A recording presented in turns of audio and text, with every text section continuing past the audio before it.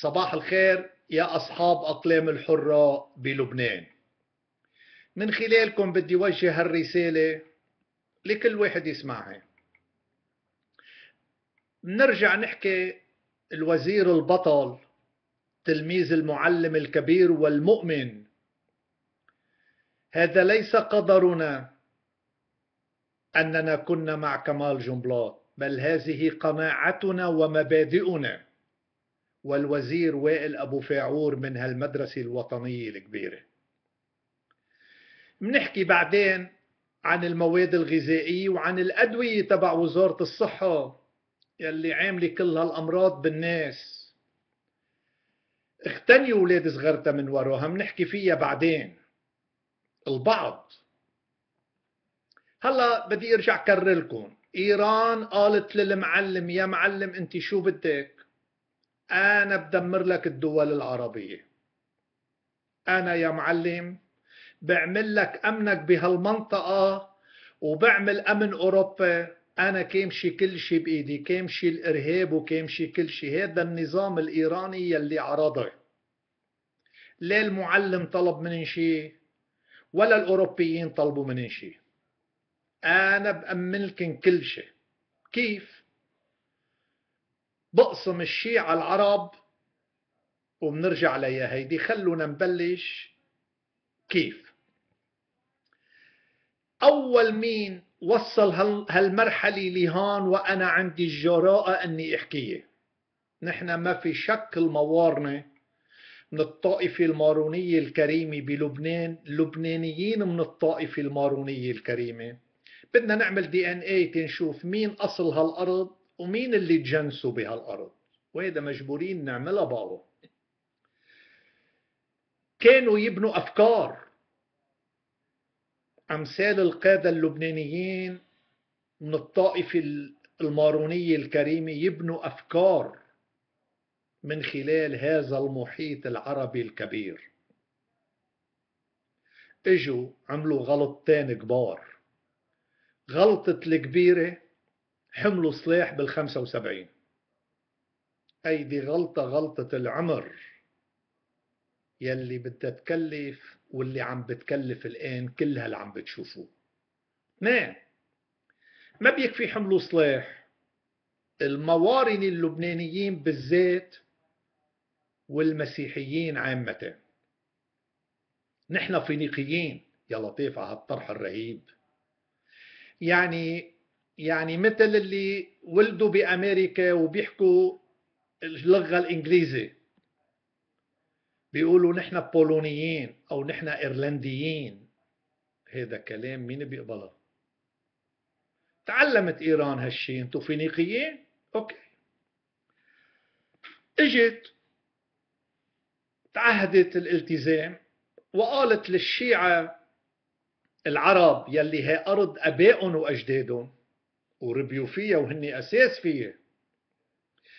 بين هلالين أول مين طرح بعد الحركة الوطنية اللبنانية بقيادة المعلم الكبير كمال جنبلاط إنه لا حل لنا لا حل لنا بلبنان بسوريا إلا بحركة وطنية بقيادة هذا الفكر المتنور بالطائفة الشيعية الكريمة. أنا كنت أمشي فيها بشوارع باريس ولندن وأطرحها. كل ما لقيت من الطائفة الشيعية الكريمة اللبنانية اشرح لن هي الأمل بهالحركة الكبيرة. طلعت الحركة. بدل ما تمشي من أجل الخير والبناء المستقبل إجت حملة صلاح بمشروع تاني مختلف. هلا خلونا نقول هون. إجت إيران ضربت إيدها وبلشت تشتغل. أول ما بلشت يحكوا مع الرئيس حافظ الأسد على أنه أنتم العلويين من أصل شيعي مش صحيح الكلام كلام كتير في غلط. وركب براسه الرئيس الأسد. سيبكن من كل حكي في شغلتين كانوا يدغدغوا الرئيس الأسد. إنه يت إنه يكون هو النبي الاثني عشر. الإمام الاثني عشر. وكان كل هذا طموحه. والرئيس سليمان فرنجية سليمان قبلان فرنجية إنه يقول له انت حافظ حافظ كرامة العرب. هول الشغلتين كانوا أعلى شيء بالدنيا. خصوصا تطلع من رئيس جمهورية لبنان هذا اللي من, من الطائفة المارونية الكريمة. وبالحقيقة كانوا شغلتين هدول هاللبنانيين خصوصا المسيحيين. كان العرب يفتخر فيهم. الإسلام العربي كان يفتخر فيهم. وكان يغار منهم. متطورين كتير كان بنظره فحافظ الأسد كلمات الرئيس سليمان قبلان فرنجية دغدغ له سروره من جوا. طيب. إجت إيران. وفاتت. فاتت. عسكريا وسياسيا واستخباريا. حولت الشيعة العرب إلى جاليات فارسية. صحيح الحكي. وتمكنوا من احتواء بالترغيب والترهيب والمذاهب واللي بدكن يستعملوا كل شيء يقدروا يعملوه. ان يجيبوا العلويين على المذهب الجعفري الاثني عشر. بالحقيقة العلويين منها. من يعني من من هالفرع لعبوا فيه. بلشوا كمان يحكوا مع العلويين بتركيا. هذا شيء ما حدا منتهى له كمان بنفس المنظور. رجعوا بلشوا بالإسماعيليين السوريين والزيديين اليمنيين يلي بتسموهم حوثيين. كل العرض مشيوا فيه مشيوا فيه مع إنه هيدي أرض أجدادهم. أرض أباء لشيعة العرب. والطائفة العلوية الكريمة لها دور كبير بالمنطقة. بس بالحقيقة ما عندهم أي أصول شيعية. خلينا نكون واضحين فيه. ولكن نحن كان كل أملنا إنه شيعة لبنان عكتر منن مثقفين وعكتر منن فاهمين وعكتر منن وطنيين كبار هن يقضوها. في الحقيقة نفس الشيء. بكل العالم العربي بس بقيادة هن نحو البناء والأفضل وبناء المستقبل. راحوا على غير شيء. هلأ إيران عم تعرض عن قلكن أنا أسمعه مشان كل واحد منكم يسمع. يا أمريكان يا غرب يا إسرائيليين أنا الأمن أنا بعملكم كل شيء.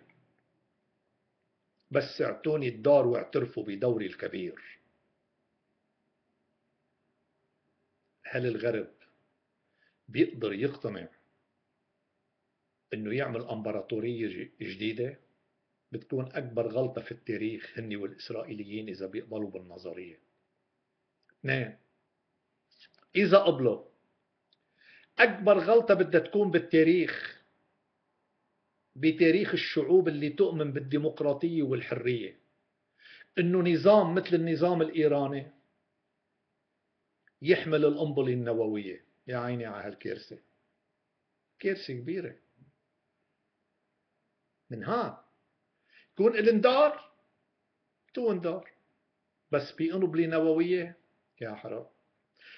نفس الغلطة اللي عملها العالم الحر مع النازية بألمانيا. بتمنى عليهم ما يعملوها. قبل ما تخلص رسالتي حكيت إنه نحكي عن وزارة الصحة والأدوية. وبدي أحكي كلمة. وفي الليلة الظلماء يفتقد البدر. أين أنت أيها العميد الكبير؟ أيها الضمير الكبير ريمون إدي؟ وأين أنت أيها العملاق الكبير؟ الدكتور محسن الشيشكلي. المرحلة اللي دقته نحتاج بلبنان. نحتاج بلبنان إلى عميد ريمون إدي تاني وبنفس المستوى وبنفس الفكر وبنفس الإيمان.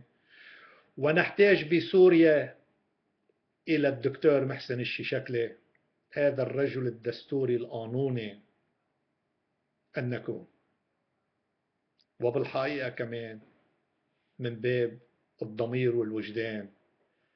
أين أنت الرئيس رونيه معوض والرئيس رشيد كرامة والرئيس صائد إسلام والمعلم كمال جنبلاط؟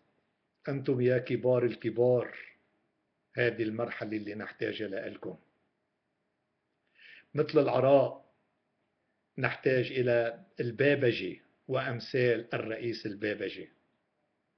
وإلا المرحلة خطيرة كتير. شكرا وألف شكر يا أصحاب أقلام الحراء. vì lụt nề.